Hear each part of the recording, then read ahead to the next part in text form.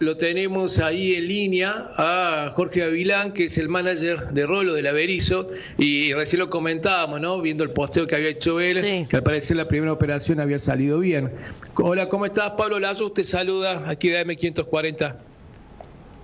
¿Cómo estás, Pablo? ¿Cómo están? Buen día. Bien, bien. Bueno, solo preocupado, ¿no? Porque queremos saber lo que le había pasado a Rolo. ¿Qué nos puedes contar? Eh, y bueno, nada, accidentes que suceden. Estaba guardando unas unas cosas que había comprado en su camioneta y tenía la puerta abierta. Cuando la fue a cerrar, vino un colectivo y le aplastó la mano.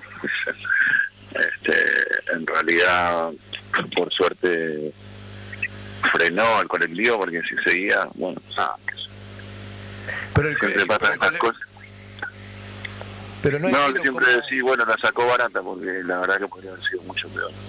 Y claro, porque eh, si no le termina agarrando la mano, puede haber agarrado todo el cuerpo, ¿no? Puede haber sido aplastado. Sí, sí, porque él estaba abajo, él estaba abajo de la camioneta. Este, entonces, bueno, ah, lo podría haber atropellado. ¿Y esto en dónde fue? Ah. ¿Cómo? ¿En qué, zona fue? En Avellaneda.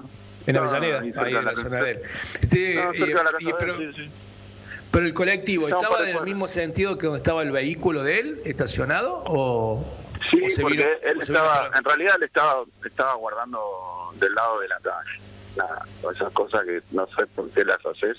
Eh, entonces, no es que estaba bien parado, básicamente.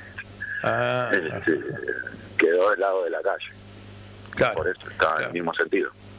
¿Y, qué le pasó en su mano? ¿Qué, ¿Cuáles son las lesiones que tuvo?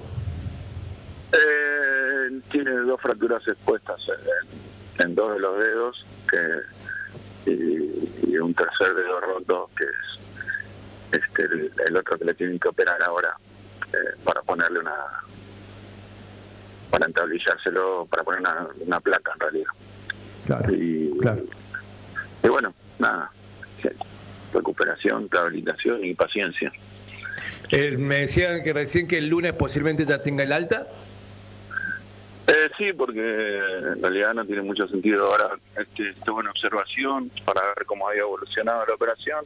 Este, estaba todo bien, así que ahora el lunes le dan el alta hasta que lo vuelvan a operar.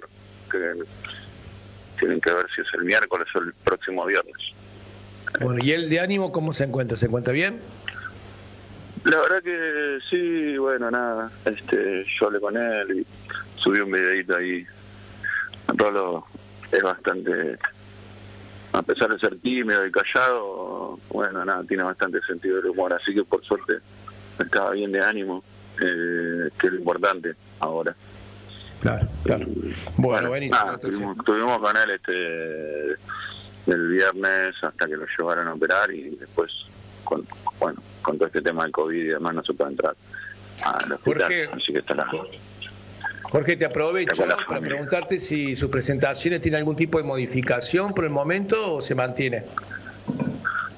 No, la única que, que vamos a reprogramar en principio es la de Santa Fe porque es la semana que viene. Eh, ahí ya estamos viendo que ver qué fechas disponibles había eh, el teatro y, y por ahora eso solo, porque bueno, digamos que él, si está todo bien, eh, podría cantar tranquilamente. Claro, claro.